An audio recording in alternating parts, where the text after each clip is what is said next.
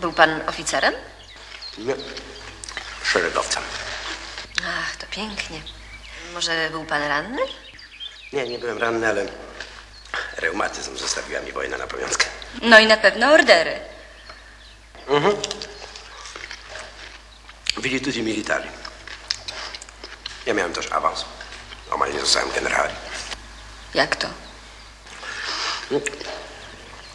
Doszedłem do stopnia starszego szeregowca i na pewno otrzymałbym szarżę generalską, wojna się skończyła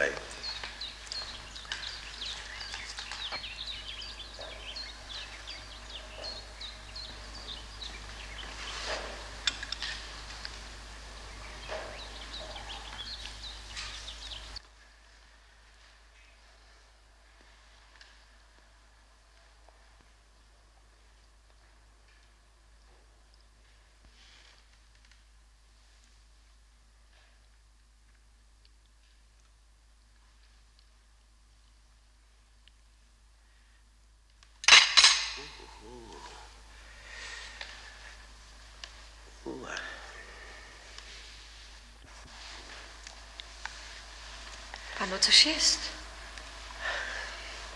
Jakiś atak. Ojej. Odezwała się wojna. Okopy. A więc to reumatyzm.